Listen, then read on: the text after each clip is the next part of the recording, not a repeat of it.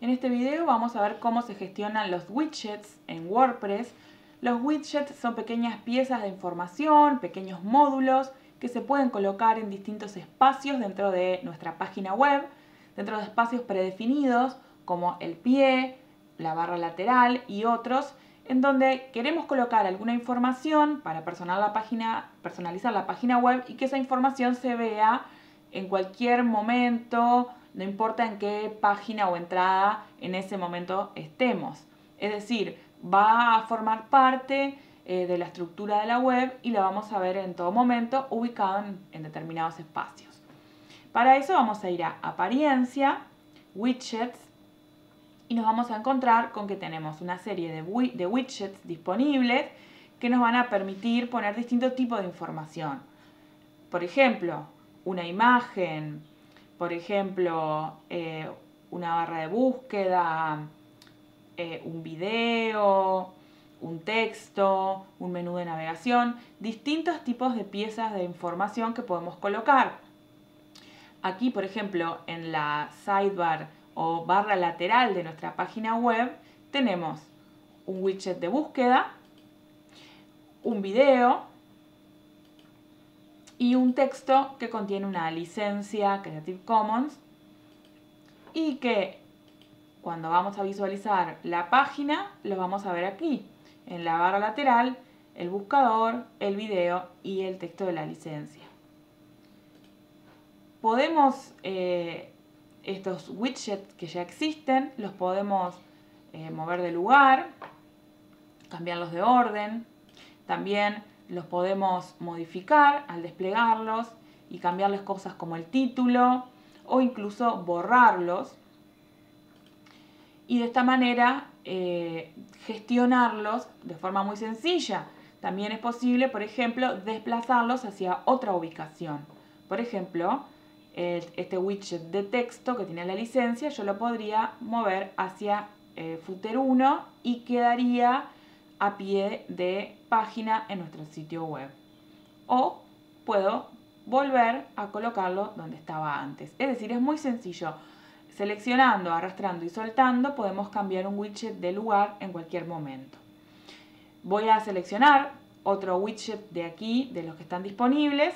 Todos estos están disponibles, pero no están activos en la página web. Entonces, por ejemplo, voy a tomar un widget de imagen lo voy a arrastrar y lo voy a, soltar en el footer 1 para que quede a pie de página. Y como es de imagen lo que me permite hacer es buscar una imagen. Puedo agregar imagen subiéndola desde los archivos de mi computadora o puedo seleccionar aquí ir a la biblioteca multimedia y elegir por ejemplo estos logos agregar al widget eh, y em, puedo, por ejemplo, eh, ponerle un pequeño título para que aclare de qué se trata esta imagen. Luego pongo guardar y eh, paso a tener entonces eh, mi logo, el, logo de este sitio, a pie de página. Voy a recargar y vamos a ver que a pie de página tenemos los logos en el footer 1, que es eh, la primera columna de footer o de pie de página. Otros eh, posibles eh, widgets que pueden ser interesantes de agregar, por ejemplo, puede ser un menú de navegación. como vimos en el video anterior, solamente podemos tener en el tema de, de este sitio web un menú principal aquí, arriba de todo, pero supongamos que queremos poner un menú secundario en otra ubicación.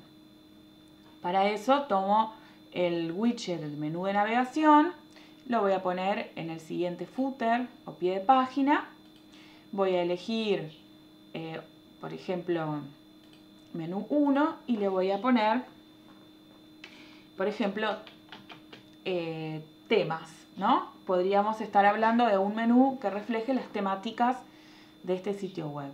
Le pongo guardar y vamos a ver que se va a haber creado a pie de página un menú eh, que contiene los, los ítems eh, que estaban eh, ya em, puestos en ese menú que ha sido creado previamente.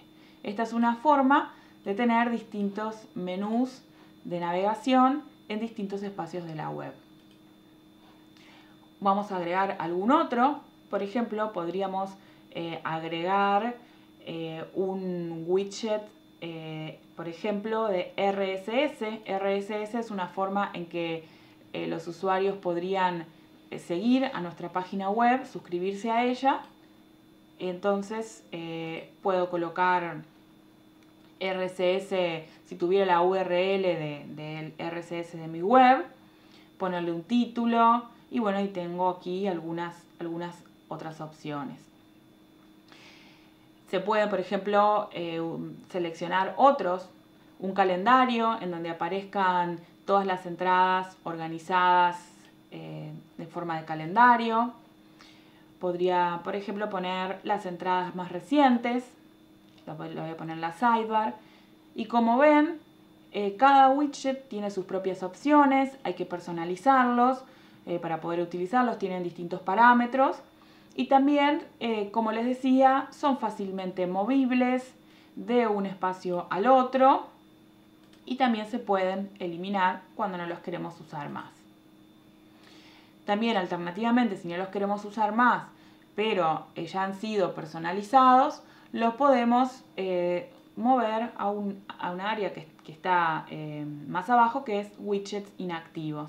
De esta forma, si no los queremos eliminar, pero mm, en algún momento queremos reutilizarlos, aquí quedan almacenados esos widgets ya personalizados, pero inactivos en ese momento.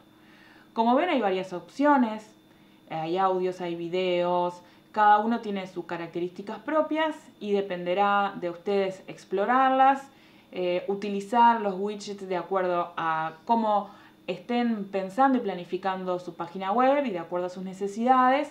No es obligatorio utilizarlos en ningún momento. Todo depende eh, de cómo queremos presentar la información, de para qué.